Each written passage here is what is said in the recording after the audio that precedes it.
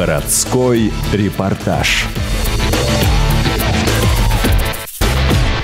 В общественно-политическом центре прошло первое организационное собрание городской общественной палаты. Слово для его открытия было предоставлено председателю городского совета ветеранов Александру Чентареву. Сегодня поручено мне открыть работу, первое организационное собрание городской общественной палаты. Вот. Я эту миссию должен сегодня выполнить. В президиуме находились глава города железнодорожного Евгений Иванович Жирков, депутат Совета депутатов Светлана Федоровна Крюкова. На мероприятии также присутствовали 21 член общественной палаты и представители средств массовой информации, заместители главы железнодорожного и депутаты Совета депутатов города.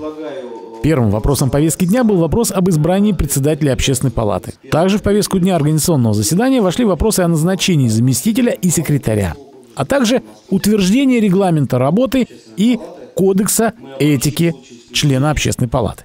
Повестка дня и регламент работы собраний были приняты, и слово для приветствия предоставлено главе городского округа Евгению Жиркову. Я хочу всех поприветствовать, в первую очередь, вновь избранных общественников, которым предстоит достаточно серьезная, огромная работа.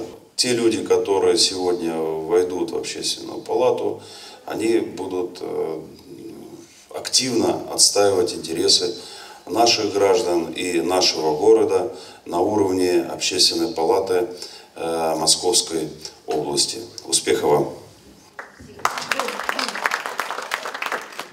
Заместитель председателя Совета депутатов Светлана Федоровна Крюкова выразила уверенность, что, цитирую, «Общественная палата станет ключевой площадкой для широкого диалога между всеми слоями общества и будет способствовать сотрудничеству, а также станет гарантом стабильности развития железнодорожного». Конец цитаты.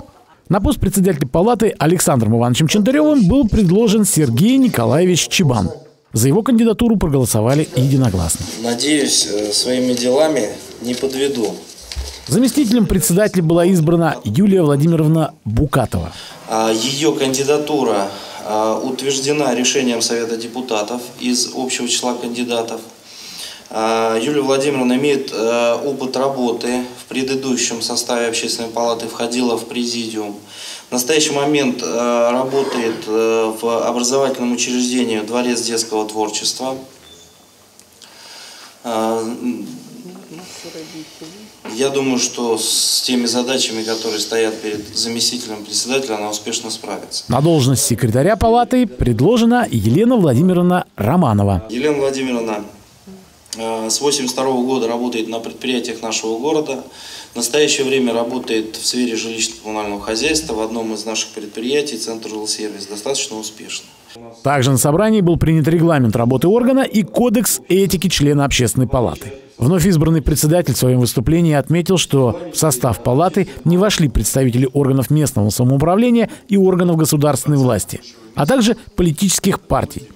И что палата сформирована из членов общественных объединений и организаций.